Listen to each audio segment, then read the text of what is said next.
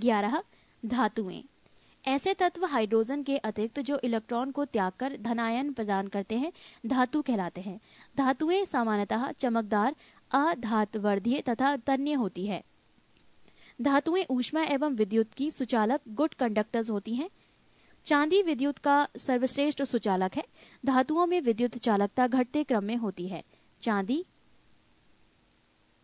Smaller than तांबा smaller than aluminium smaller than tungsten सीसा की ऊष्मीय एवं विद्युत चालकता सबसे कम होती है। धातुओं के ऑक्साइड की प्रकृति क्षारकीय होती है। अपवाद। क्रोमियम ऑक्साइड Cr2O3 की प्रकृति अम्लीय होती है।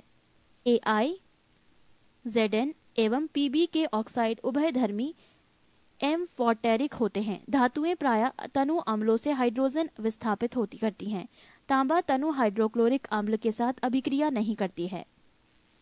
धातुओं की प्राप्ति। पृथ्वी की भूपरपटी धातुओं का मुख्य स्रोत है। भूपरपटी में मिलने वाले धातुओं में एल्यूमिनियम सात प्रतिशत, लोहा चार प्रतिशत एवं कैल्शियम तीन प्रतिशत का क्रमशः प्रथम, द्वितीय एवं तृतीय स्थान है। खनिज मिनरल्स भूपरपटी में प्राकृतिक रूप से पाए जाने वाले तत्वों का या यौगिकों को खनिज कहते हैं। अयस्क। ओरस, वो खनिज जिनसे धातुओं को सुगमता पूर्वक तथा लाभकारी रूप में निष्कर्षित किया जा सकता है, अयस्क कहलाते हैं। यहाँ पर अयस्क से धातु निष्कर्षण में प्रयुक्त चरण दर्शाए गए हैं, जो इस प्रकार हैं। अयस्क अयस्क का सांद्रण। अयस्क का सांद्रण तीन भागों में बांटा गया है, एक उच्च अभिक्रियाशील वस्तुएँ। इसके भी दो भाग हैं, गलित धातु का विद्युत अपघटन तथा शुद्ध धातु। मध्यम अभिक्रियाशील धातुएँ, ये भी दो प्रकार की होती हैं, कार्बोनेट अयस्क तथा सल्फाइड अयस्क। कार्बोनेट अयस्क से निस्तापन तथा सल्फाइड अयस्क से भर्जन। इन दोनों से तीन तरीके की धातु निकलती है। धातु का ऑक्साइड धातु का अपघटन तथा धातु का शोधन। तीसरा भाग आता है निम्न अभिक्रियाशील धातुएँ, जिनसे सल्फाइड अयस्क, भर्जन, धातु और परिष्करण होता है। ये थे अयस्क से धातु निष्कर्षण में प्रयुक्त चरण। इससे जुड़ी और अधिक जानकारी के लिए आप अपने मित्र से संपर्क कर सकते हैं। पृष्ठ तीन सौ उनचास। धातु कर्म। मेटाल लड़गी अयस्कों से धातुओं के निष्कर्षण तथा परिष्करण में सम्मिलित विभिन्न प्रकर्मों को धातु कर्म कहते हैं। गैंग। अयस्क में मिले अशुद्ध पदार्थ को गैंग कहते हैं। फ्लक्स। अयस्क में मिले गैंग अशुद्ध पदार्थ को हटाने के लिए बाहर से मिलाए गए पदार्थ को फ्लक्स कहते हैं। धातुमल। स्लैग। गैंग एवं फ्लक्स के मिलने से बने पदार्थ धातुमल कहलाता है। निस्तापन कैलकिनेशन इस प्रक्रिया में धातु के अयस्क को उसके द्रवनांक एम से नीचे के ताप पर गर्म करते हैं ताकि अयस्क में मिले वाष्पशील अशुद्धियाँ दूर हो जाएँ। भर्जन रोस्टिंग इस प्रक्रिया में धातु के अयस्क को गर्म हवा की उपस्थिति में उसके द्रवनांक से नीचे के ताप पर गर्म करते हैं ताकि इसमें मिले अशुद्धि ऑक्सीकृत ऑक्सीडाइज हो जाएँ। एस्मेलेटिंग स्मेलेटिंग इस प्रक्रिया में धातु कोक एवं फ्लक्स की उपस्थिति में उसके द्रवनांक से ऊपर के ताप पर गर्म करते हैं, जिससे शुद्ध धातु प्राप्त होती है। सक्रियता श्रेणी। सक्रियता श्रेणी वो सूची है जिसमें धातुओं की क्रियाशीलता को अवरोही क्रम में व्यवस्थित किया जाता है। कार्बोनेट अयस्क को निस्तापन, कैल्किनेशन द्वारा धातु ऑक्साइड में परिवर्तित किया जाता है और सल्फाइड अयस्क को भर्जन रोस्टिंग द्वारा धातु ऑक्साइड में परिवर्तित किया जाता है। धातु ऑक्साइडों को कार्बन, एल्यूमिनियम अथवा विद्युत अपघटनी अपचयन द्वारा धातु में अपचयित किया जाता है। सोडियम, पोटेशियम तथा कैल्शियम धातुओं को उनके गलित क्लोराइडों के विद्युत अपघटन द्वारा निष्कर्षित किया जा सकता है, जबकि एल्यूमिनियम धातु को उसके गलित ऑक्साइड के विद्युत अपघटन द्वारा निष्कर्षित किया जाता है। गलित लवणों के विद्युत अपघटन के दौरान शुद्ध धातु कैथोड पर निक्षेपित होती है। संक्षारण। धातुओं का उनकी सतह पर वायु एवं आर्द्रता के प्रभाव द्वारा नष्ट होना संक्षारण कहलाता है। लोहे में जंग लगना, तांबा की सतह पर हरे रंग की परत चढ़ना एवं चांदी की वस्तुएँ को काली हो जाना संक्षारण के उदाहरण हैं। लोहे में जंग लगना रासायनिक परिवर्तन का उदाहरण है। जंग लगने से लोहे का भार बढ़ जाता है। लोहे में जंग लगने में बना पदार्थ ferrosoferric oxide F E two O three X H two O होता है। यानी जल के अणुओं की संख्या एक्स बदलती रहती है। पेंट करके तेल लगाकर ग्रीज लगाकर, यश, दलेपन, क्रोमियम लेपन, एनोडीकरण या मिश्र धातु बनाकर लोहे को जंग लगने से बचाया जा सकता है। नोट, यश, दलेपन, लोहे एवं इस्पात को जंग से सुरक्षित रखने के लिए उन पर जस्ते की पतली परत चढ़ाने की विधि को यश, दलेपन कहते हैं। सक्रियता श्रेणी, धातुओं की सापेक्ष अभिक्रियाशीलता। के पोटेशियम सबसे अधिक अभिक्रियाशील। N A sodium C A calcium M G magnesium aluminium L Z N जस्ता, ये सब सबसे अधिक अभिक्रियाशील करते हैं। लोहा, सीसा एफ़ लोहा एफ़ ई सीसा PB hydrogen H C U तांबा एच जी पारा। घटती अभिक्रियाशीलता में चांदी एजी एयू सोना, सबसे कम अभिक्रियाशील। धातु और निष्कर्षण की विधि। K N A C M G A L निष्कर्षण की विधि, विद्युत अपघटन। Z N F E P B C U निष्कर्षण की विधि, कार्बन के उपयोग से अपचयन अपचयन। ए जी और एयू प्राकृतिक अवस्था में उपस्थित।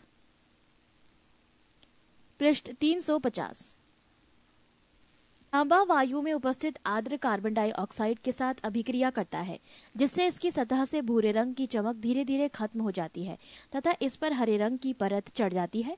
यह हरा पदार्थ कॉपर कार्बोनेट होता है। खुली वायु में कुछ दिन छोड़ देने पर सिल्वर की वस्तुएँ काली हो जाती हैं। सिल्वर का वायु में उपस्थित सल्फ़र के साथ अभिक्रिया कर सिल्वर सल्फाइड की परत बनाने के कारण ऐसा होता है। धातु प्रदूषक। कुछ भारी धातुएँ जल में घुलकर उसे प्रदूषित करती हैं, जैसे कैडमियम सीडी लेड पीबी तथा पारा एच जी सीडी एवं एच जी गुर्दों को नष्ट कर देते हैं। पीबी गुर्दों, जिगर, मस्तिष्क तथा केंद्रीय तंत्रिका तंत्र को प्रभावित करते हैं। धातुओं से संबंधित विविध तथ्य। टंगस्टन का संकेत W होता है, इसका गलनांक लगभग 3500 डिग्री सेल्सियस होता है। भारत में टंगस्टन का उत्पादन राजस्थान स्थित देगाना खान से होता है। टंगस्टन तंतु के अपचयन को रोकने के लिए बिजली के बल्ब से हवा निकाल दी जाती है। जिरकोनियम धातु ऑक्सीजन तथा नाइट्रोजन दोनों में जलते हैं। बेडिलियाइट जिरकेनियम का अयस्क है। न्यूट्रॉनों को अवशोषित करने के गुणों के कारण जिरकोनियम, कैडमियम एवं बोरॉन का उपयोग नाभिकीय रिएक्टर में किया जाता है। बेराइल बेरिलियम धातु का मुख्य अयस्क है। फ्रांसियम एवं रेडियो सक्रिय द्रव धातु है। स्टेनस सल्फाइड एस टू को मोसाइक गोल्ड कहते हैं। इसका प्रयोग पेंट के रूप में किया जाता है। टिन अपरूपता प्रदर्शित करता है।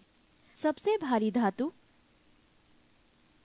ओसीमियम ओएस है और प्लेटिनम सबसे कठोर धातु है। बेरियम हाइड्रोक्साइड को बेराइटा वाटर कहते हैं। बेरियम सल्फेट का उपयोग बेरियम मील के रूप में उदर के एक्सरे में होता है। आतिशबाजी के दौरान हरा रंग बेरियम की उपस्थिति के कारण होता है। आतिशबाजी के दौरान लाल चटक रंग, क्राइमोसोम्स red colours, strontium S R की उपस्थिति के कारण उत्पन्न होता है। लिथियम सबसे हल्का धात्विक तत्व है। ये सबसे प्रबल अपचायक होता है।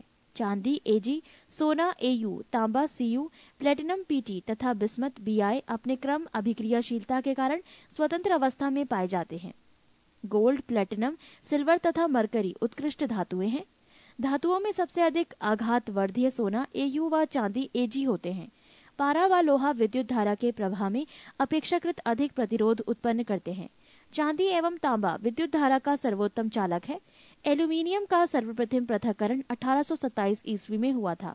प्याज व लहसुन में गंध का कारण पोटेशियम की उपस्थिति है। कार्नोटाइट का रासायनिक नाम पोटेशियम यूरेनिल वेंडेट होता है। कैंसर रोग के इलाज में कोबाल्ट के समस्थानिक का उपयोग होता है। मेटलाइट निकेल धातु का अयस्क है। सोडियम पर ऑक्साइड का उपयोग पनडुब्बी जहाजों तथा अस्पताल आदि की बंद हवा को शुद्ध करने में होता है। पृष्ठ तीन सौ इक्यावन। ग्रीनोकाइट कैडेमियम का अयस्क है। कैडेमियम का प्रयोग नाभिकीय रिएक्टरों में न्यूट्रॉन मंदक के रूप में, संग्राहक बैटरियों में तथा निम्न गलनांक की मिश्र धातु बनाने में होता है। एक्टिनाइट्स रेडियो सक्रिय तत्वों का समूह होता है। विश्व प्रसिद्ध एफिल टावर का आधार स्टील व सीमेंट का बना है। थूलियम का संकेत टीएम होता है। रेडियम का निष्कर्षण पिंच ब्लेंड से किया जाता है। मैडम क्यूरी ने पिंच ब्लेंड से ही रेडियम का निष्कर्षण किया था। वायुयान के निर्माण में प्लेडियम धातु प्रयुक्त होती है। गैलियम धातु कमरे के ताप पर द्रव अवस्था में पाया जाता है। सेलिनियम धातु का उपयोग फ़ोटो इलेक्ट्रिक सेल में होता है। साइट्रोकोम में लोहा उपस्थित होता है। जियोलाइट का प्रयोग जल को मृदु बनाने में किया जाता है। टिन अपरूपता प्रदर्शित करता है।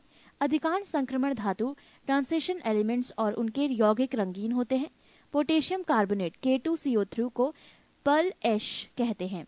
नाइक्रोम निकल क्रोमियम और आयरन का मिश्र धातु है।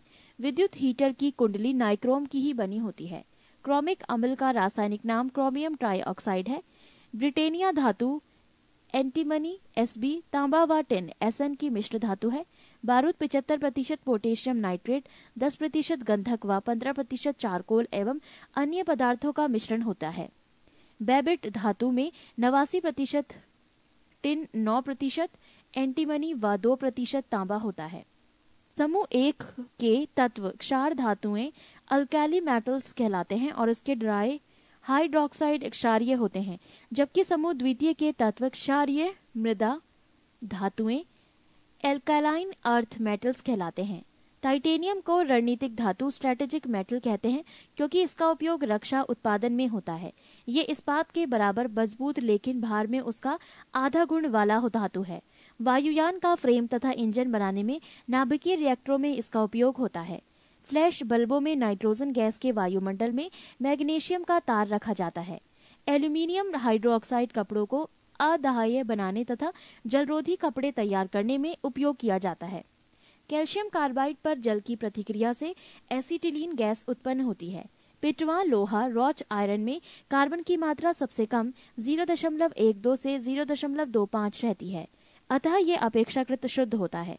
आयरन तृतीय ऑक्साइड Fe2O3 के साथ एल्यूमिनियम की अभिक्रिया का उपयोग रेल की पटरी एवं मशीनी पुर्जों की दरारों को जोड़ने के लिए किया जाता है। इस अभिक्रिया को थर्मिट अभिक्रिया कहते हैं। शरीर में लोहे की कमी से एनीमिया तथा अधिकता से लोहमयता रोग उत्पन्न होता है।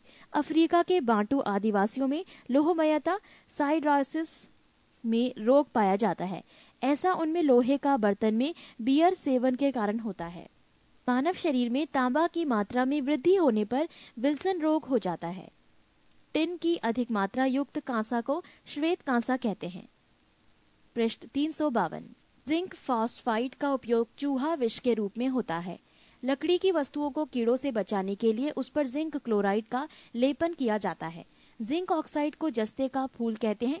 इसका व्हाइट अथवा चाइनीज़ व्हाइट के नाम से सफ़ेद पेंटों में प्रयोग किया जाता है। इसका उपयोग मरहम तथा चेहरे की क्रीम बनाने में किया जाता है। सिल्वर क्लोराइड को हॉर्न सिल्वर कहा जाता है। इसका उपयोग फोटोक्रोमिक कांच बनाने में होता है। सिल्वर आयोडाइज का उपयोग कृत्रिम वर्षा कराने में होता है। सिल्वर नाइट्रेट का प्रयोग निशान लगाने वाली स्याही बनाने में किया जाता है। मतदान के समय मतदाताओं की उंगलियों पर इसी का निशान लगाया जाता है।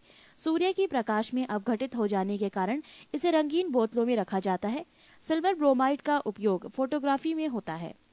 चांदी के चम्मच से अंडा खाना वर्जित रहता है, क्योंकि चांदी अंडे में उपस्थित गंधक से प्रतिक्रिया कर काले रंग का सिल्वर सल्फाइड बनाती है, जिससे चम्मच नष्ट हो जाती है। सोना को कठोर बनाने के लिए उसमें तांबा या चांदी मिलाया जाता है। शुद्ध सोना 24 कैरेट का होता है। आभूषण बनाने के लिए 22 कैरेट सोने का उपयोग होता है। आयरन पायराइड्स एफ़ को झूठा सोना या बेवकूफों का सोना कहते हैं। स्वर्ण लेपन में पोटेशियम और रसायनिक का प्रयोग विद्युत अपघट के रूप में होता है। आरिक क्लोराइड का उपयोग सर्प विश्वरोधी सुई बनाने में होता है। प्लेटिनम को सफ़ेद सोना कहा जाता है। पारा को क्विक सिल्वर के नाम से भी जाना जाता है। इसका निष्कर्षण मुख्यतः सिनेवार से होता है। पारा को लोह पात्र में रखा जाता है, क्योंकि ये लोहे के साथ अल, अम लगम नहीं बनाता है। ट्यूबलाइट में समानतः पारा का वाष्प और आर्गन गैस भरी रहती है। सीसा सबसे अधिक स्थायी तत्व है। इसका उपयोग कागज़ पर लिखने में होता है। लेड आर्सेनिक नामक मिश्र धातु का उपयोग गोली बनाने में होता है। कार्बन सीसा का उपयोग कृत्रिम अंगों के निर्माण में होता है। लेड ऑक्साइड का लिथार्ज कहा जाता है, जो एक उभयधर्मी ऑक्साइड है। इसका उपयोग रबड़ उद्योग में, स्टोरेज बैटरी के निर्माण में तथा फ्लिंट कांच बनाने में होता है। बेसिक लेड कार्बोनेट को व्हाइट लेड कहा जाता है। इसे सफेदा के नाम से भी जाना जाता है। लेड टेट्राइथल का उपयोग अपस्फोटन रोकने में किया जाता है। लेड पाइप पीने के जल को ले जाने के लिए उपयुक्त नहीं होते हैं, क्योंकि ये वायु मिश्रित जल के साथ घुलकर विषैले लेड हाइड्रोक्साइड उत्पन्न करते हैं। विद्युत उपकरणों में प्रयुक्त होने वाला फ्यूज तार लेड और टीन से बना मिश्र धातु होता है। यूरेनियम को आशा धातु कहा जाता है। भारत में यूरेनियम का सर्वाधिक उत्पादन झारखंड में होता है। यूरेनियम का समस्थानिक 92 यू 238 रेडियो सक्रियता प्रदर्शित नहीं करता है। यूरेनियम कार्बाइड का उपयोग हैबर विधि में अमोनिया के उत्पादन में उत्प्रेरक के रूप में किया जाता है। यूरेनियम का उपयोग परमाणु ऊर्जा के उत्पादन में होता है। यूरेनियम के नाइट्रेट एवं एसीटेट का उपयोग फोटोग्राफी में होता है। यूरेनियम धातु का निष्कर्षण मुख्यतः उसके अयस्क पिंच ब्लेड से किया जाता है। प्लूटोनियम एक भारी रेडियो सक्रिय धातु है। ये एक्टिनाइट श्रेणी का सदस्य है। इसका उपयोग परमाणु बम बनाने में होता है। हिरोशिमा एवं नागासाकी पर गिराए गए परमाणु बम इसी से बने हुए थे। पृष्ठ तीन सौ तिरपन।